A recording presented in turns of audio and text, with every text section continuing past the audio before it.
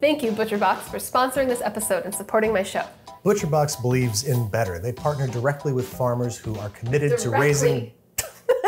They partner directly with farmers who are committed to treating animals humanely and sustainable farming practices to bring high quality meats directly to your door. Mm-hmm. They offer 100% grass fed meats, free range organic poultry, heritage breed pork, and wild caught seafood. You choose your box type and delivery frequency, and you can skip a month or cancel anytime. And your order comes in an eco friendly 100% recyclable box. New members will get a whole, free range, all natural turkey in their first box for free. Free. Head to the link in the video description to sign up now and get yours in time for the holidays. Get on it. Get on it. Holidays approaching. This is a limited time offer. You're not going to get a turkey after Thanksgiving. Why would you? Ladies and gentlemen, today Sohla El-Waylly is putting a spin on movie snacks. It's time to stump Sohla. Ooh. Food illusions.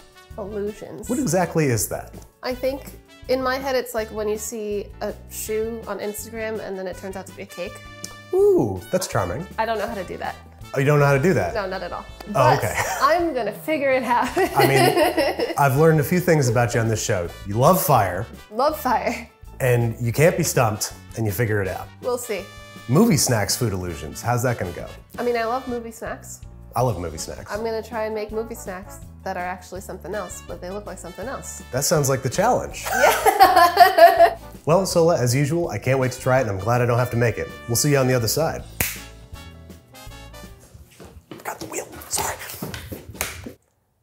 This is definitely something that I don't know how to do.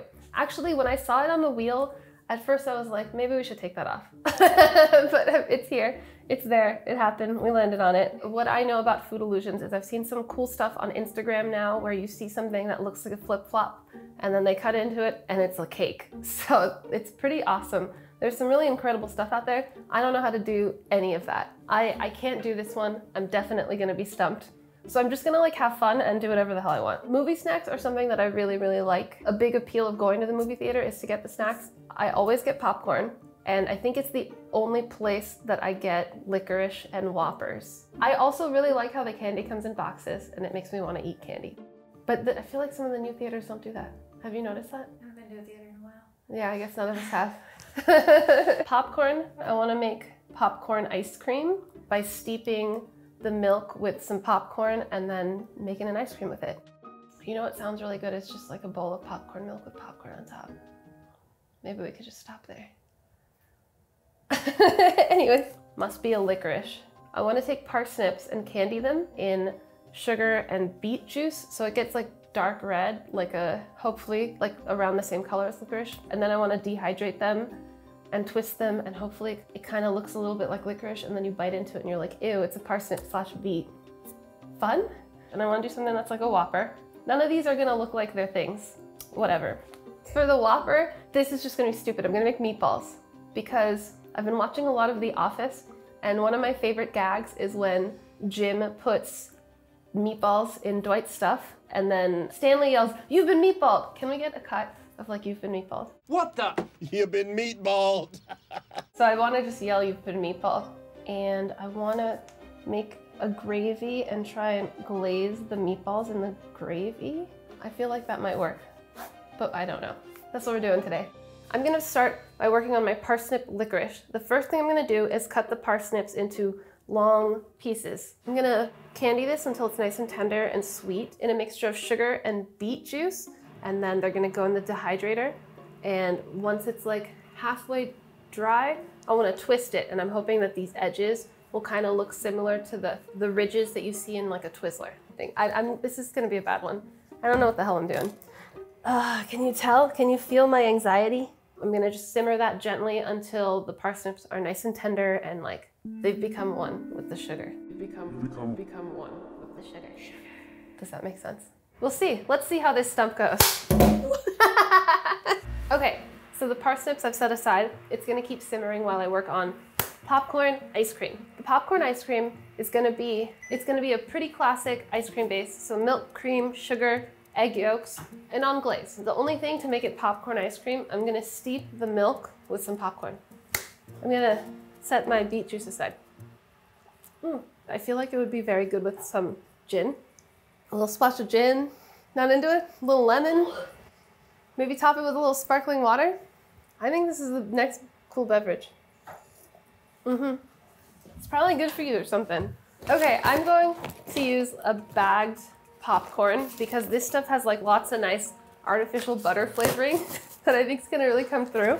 Um, I've done it before with just like popcorn that I popped and it's just, the flavor's a little bit subtle. How is it even so yellow? My popcorn never looks like that.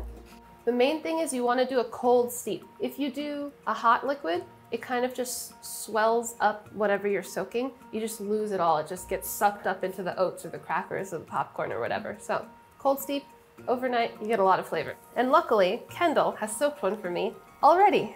All right, here's our popcorn milk. Now I'm just gonna strain it and use this to make my ice cream base. It smells like popcorn. Very subtle. It's not as popcorny as I wanted. What else can we do? There's a lot of good flavor on this bag and I wanna figure out how to get it into my milk. So I think I'm gonna scrape the popcorn gunk off of the bag and add it to my milk. I think this is where the real flavor is. I strained out that popcorn that was steeping overnight and I'm gonna add some more, just the dark orange ones because they seem to have more flavor. And I'm gonna let that just get soggy and wet in there. and then I'm gonna blend it so we have like actual popcorn puree in our popcorn ice cream. And I think that's gonna really help bump up the flavor. So the parsnips have been simmering in this beet syrup for a while now, maybe like an hour. It's tender. It almost looks like a candy already, like a gummy candy. And we just got started. So I'm gonna lay it out on the dehydrator. We're gonna be positive. This is gonna be a great episode. You're gonna be so entertained.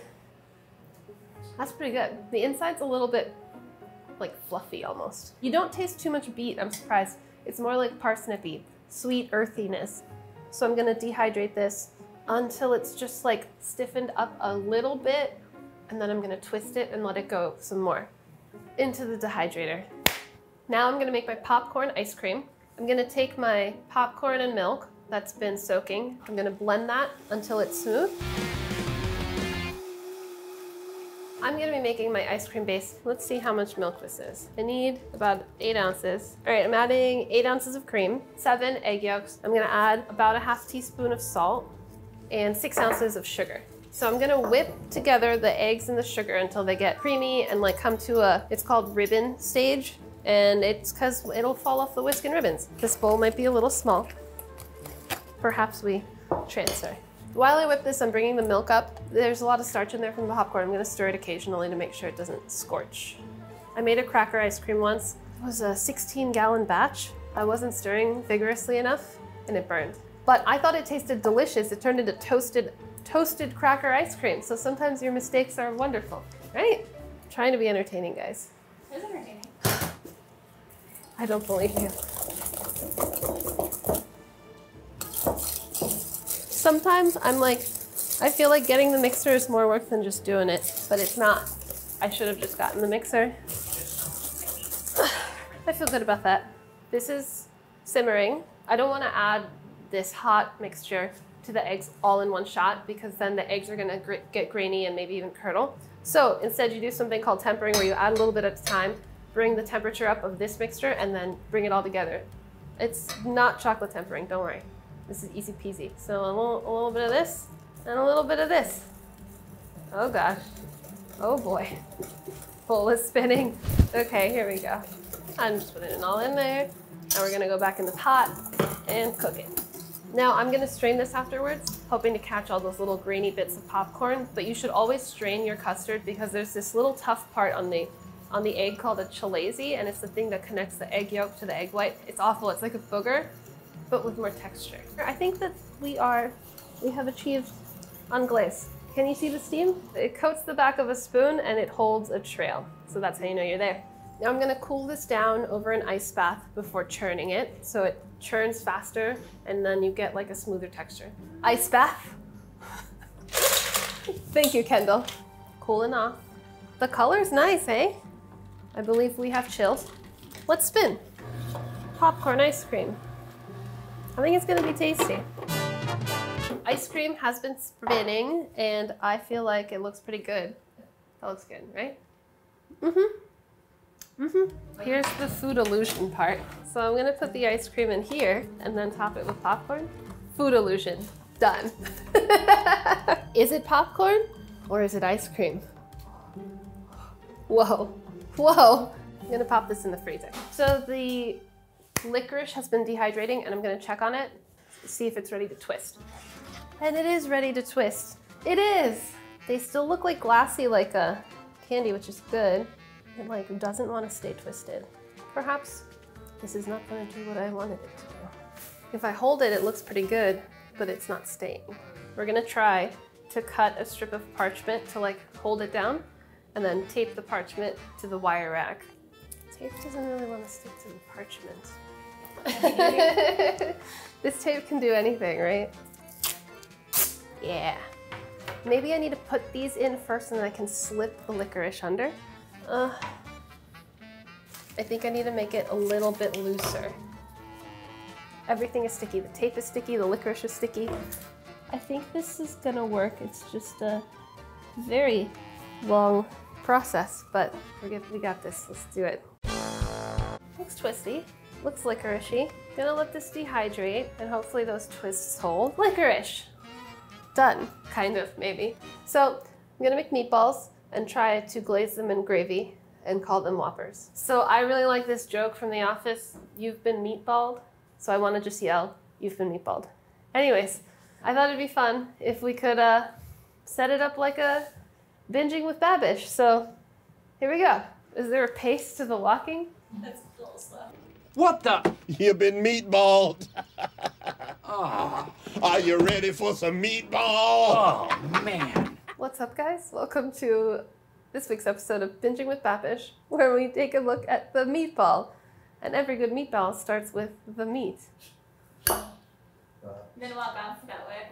All the way up. All the way up. How do I talk like him? This meatball recipe comes from Serious Eats. We're gonna start by making a panade. Does that, do you think that's how Andrew would say it? Panade, panade. I feel like pa. For the panade, I'm gonna start by cutting the crust off some white bread, cubing it up, tossing it all into a bowl and covering it with some whole milk so it's nice and moist. Mmm, so moist. Next, I'm gonna dice up half a white onion until it's really nice and small. We don't want big pieces of onion sticking out of our meatball. Now it's all going to go into a mixing bowl. I cut up too much onion. Oh well, so we'll set that aside for later. Adding some salt. I couldn't find the teaspoon measure, so that's four half teaspoons of salt. Adding our panade, a little allspice, white pepper, seasoning it up. Adding an egg, uh, attaching the paddle attachment and letting it mix. This is hard. Oh god. and there's our meatball meat. Now I'm gonna fill up a pot with some oil, bring it up to about 375, glove up. We're gonna roll our meatball meat into meatball balls. We're gonna fry it until it's nice and golden brown and cooked through. Now I put too many onions that were cut too big into my balls, so they're sticking out and it will definitely not look like a whopper. And I'm getting sick of rolling tiny balls, so we're gonna do one giant meatball to meatball Andrew. Drop it in gently to get it nice and golden brown on the outside. It's going to finish cooking in the oven because this is one mighty meatball. Now that it's brown, I'm transferring to a sheet tray and it's gonna bake for about, uh, until it's done at 350 degrees. Oh wait, wait, I think I forgot something. Come back, Sohla! okay, I wanted to put, wrap the meat around a whisk to, you know, meatball Andrew, but I forgot. So we're gonna wiggle it in and let's see if it goes in and uh, we're squishing it in. We just need its little butt to come out the other side and boom, we did it. Successful prank, meatball a la whisk. Okay, Swedish meatballs, you gotta have gravy. I'm gonna start by melting two tablespoons of butter. Once that's foamy, I'm gonna add three tablespoons of flour. Cook that for a moment. We don't wanna get any color. This is a blonde roux. It's sizzling. Okay, so now I'm gonna add two cups of chicken broth. You wanna add it just a splash at a time, stirring vigorously. If you add a whole bunch of liquid all at once, that's when you get a lumpy gravy. Once all the liquid's in there, you just need to let it simmer for a couple of minutes until the starchy taste goes away. It's gonna thicken up, but more importantly, when you taste it, it's not gonna have that like raw flour taste. My double tasting method, patented. Use less spoons and avoid double dipping. That tastes like it's cooked. Okay, I'm gonna season up my gravy, a little bit of white pep, a little bit of soy sauce, a little vinegar, just, just for a little pop, and salt. I don't know why I thought this was gonna be like brown, like the color of chocolate. It's not, it's not at all. Which one was my pouring spoon? Yeah, this is my scooping spoon. This is my tasting spoon, right? Is that how I was doing it? Pretty good. Pretty good. Now we're gonna add gel into this, which is a gel that sets warm. So I'm gonna weigh my gravy and figure out how much of the gelatin I need to add because it's based off a percentage, 420 grams. Now we need to do some math. Okay, so it's gellan F and gellan L. I think one is more flexible and one is more stiff. So you can get like the texture you want based on the combo. And this is a glaze that I used to do when I, I did poached pears and then I would glaze it in the poaching liquid.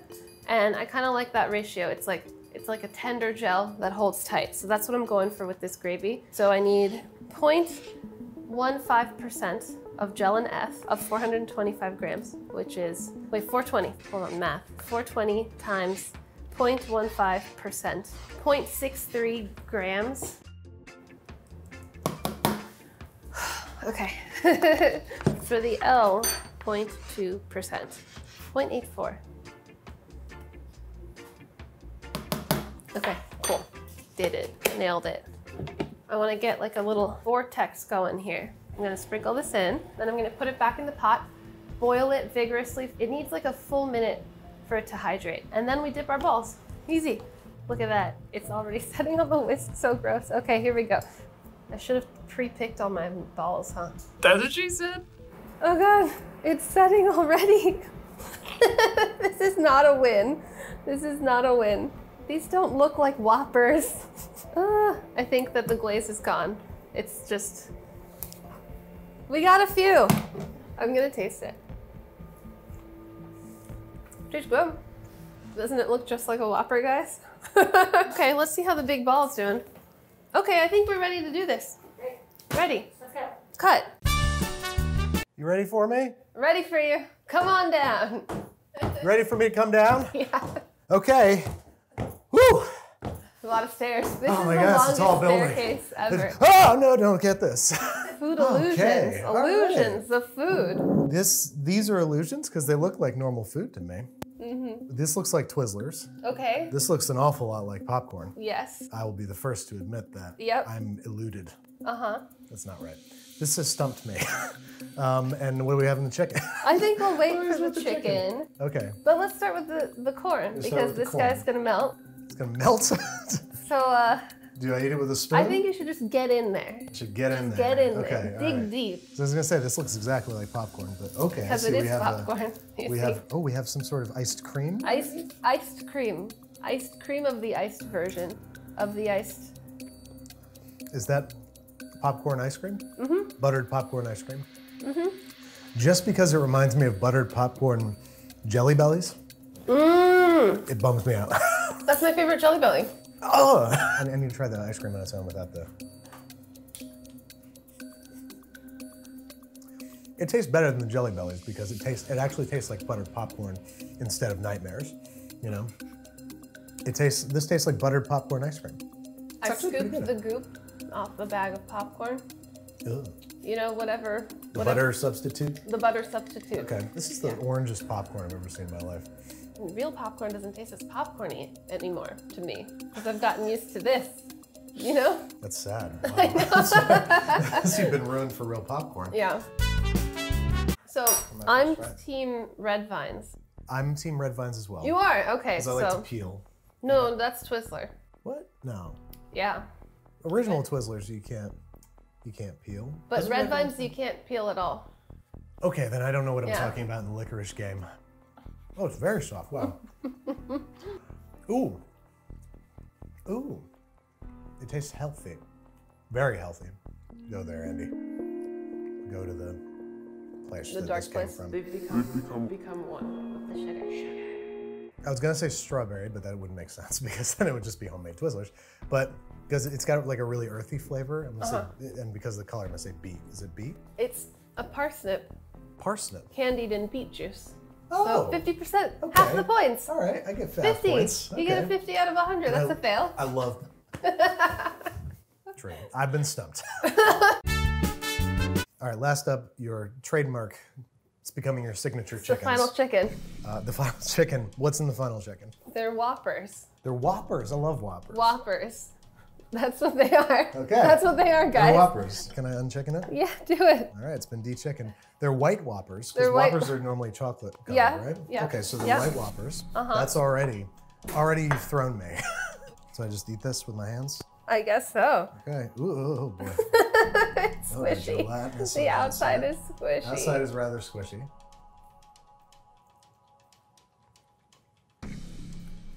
It's a meatball. It is a meatball. Okay. With the gravy glaze. Did you? What, how much gelatin did you put in the glaze? Did you put gelatin in there? It's with gelatin.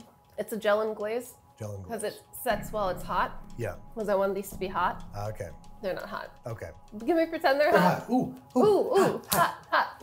Ugh. Look at it, guys. Look at it. Look at it squidge around.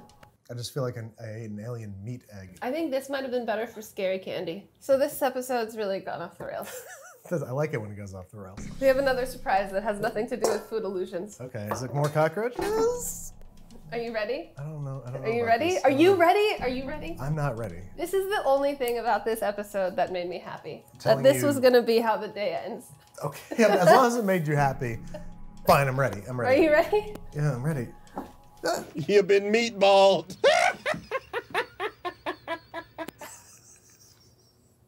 Oh, what happened to Stanley? What happened to poor Stanley? He's been meatballed Whoops. in the face. It's gravy. he got a little gravy on his face. You've been gravied, Stanley. Hmm, that's a good meatball. You've been meatballed. We've I've all been been meatballed. meatballed today. What do you think? Do you think you were stumped today? Uh huh. And with my consensus, I believe, finally, we've stumped someone. Until, But at least you've been but meatballed. at least I've been meatballed. so it's okay. That It was worth it, it all because of that. Not stumped, been meatballed. And next time you want to meatball your friends, call Butcher Box. Want to meatball your friends but don't know how? It's time to call Butcher Box. You've been meatballed. Directly in the face. Thank you, Butcher Box, again for sponsoring this episode. With ButcherBox, you get regular deliveries of high quality chicken, pork, beef, and seafood on the schedule that you want. You know what, Sohla? Yes, Andrew. You know Sohla. Yes, Andrew. Sohla! Yes, Andrew. I've tried so much Butcher Box. you know Sohla. Yes, Andrew. I've been eating a lot of this Butcher Box meat recently, and I'm super impressed with how porky the pork is, how beefy the beef is, how lobstery the lobster is. It's all incredible because it's all free range, grass fed, wild caught, heritage, good stuff. And if you're concerned about packaging, your order will come in an eco friendly 100% recyclable box. Even if you're not concerned about packaging, still gonna come in a 100% eco-friendly recyclable box. Head to the link in the video description to sign up now. Mm-hmm. New members get an all natural free range organic turkey For free! Get, one, now. Get one now. Get one now. Please go get one. Please go get one. I have kids to feed. I don't like it. I don't like it at all. Why did I do this? It, it, it's so much worse than I imagined. and it doesn't even look like Whoppers.